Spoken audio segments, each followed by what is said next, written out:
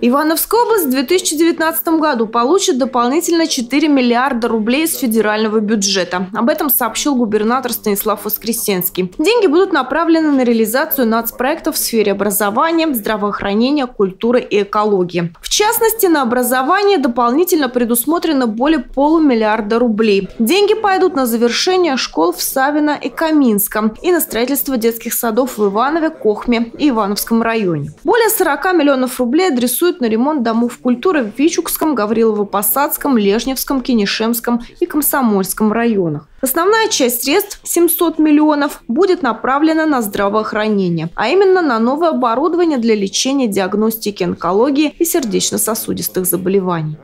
Около 95 миллионов рублей будут направлены на подготовку помещений для вот этого высокотехнологичного оборудования, которое будет поступать 19 миллионов рублей мы направим на капремонт Гавпосадской центральной районной больницы. Она в таком в плачевном состоянии. Вот недавно Сергей Михайлович там был, докладывал мне, и жители ко мне регулярно обращались.